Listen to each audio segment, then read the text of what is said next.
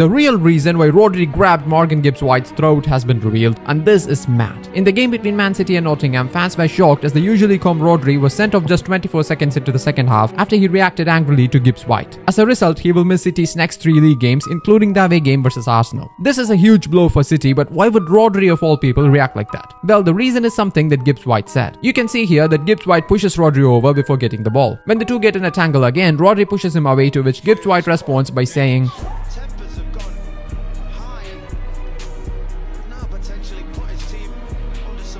Maybe the Spanish slur made Rodri lose his cool, but the Nottingham man did make the most of it to be honest.